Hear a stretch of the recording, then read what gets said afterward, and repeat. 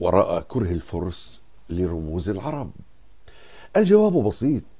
يكرهون الخليفة الراشد عمر بن الخطاب رضي الله عنه لأنه أطفأ نار المجوسية في معركة القادسية والمدائن وأدخل بلاد فارس إلى الإسلام. أي لو كان الفرس حقا مسلمين لقدسوا عمر لأنه أخرجهم من الظلمات إلى النور. يكرهون أبو جعفر المنصور لأنه قتل أبو مسلم الخرساني وأنهى نفوذ الفرس في الدولة العباسية. يكرهون خالد بن الوليد لأنه قتل هرمز.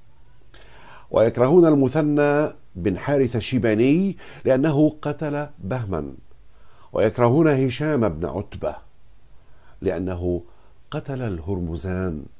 ويكرهون هلال بن علقم التميمي لأنه قتل رستم. وهو الذي صاح صيحته الشهيرة قتلت رستم ورب الكعبة.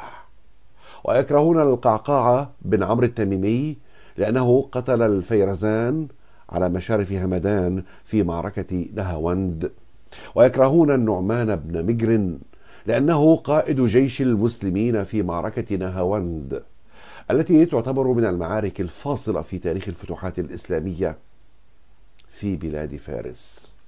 لذلك سميت بفتح الفتوح ويعود تاريخ وقوع هذه المعركة إلى عهد الخليفة الراشد عمر بن الخطاب.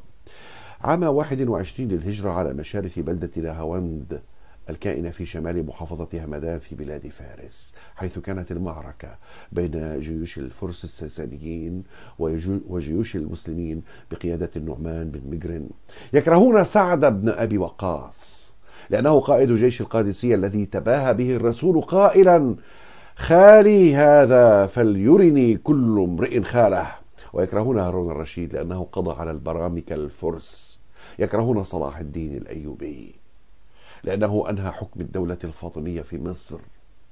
لذلك نجد دهاقنة الفرس نسجوا لكل واحد من هؤلاء قصة وألف رواية من الكذب والتدليس لتشويه تاريخ قناديل الإسلام الذين نشروا نوره في أقصى بقاع الأرض.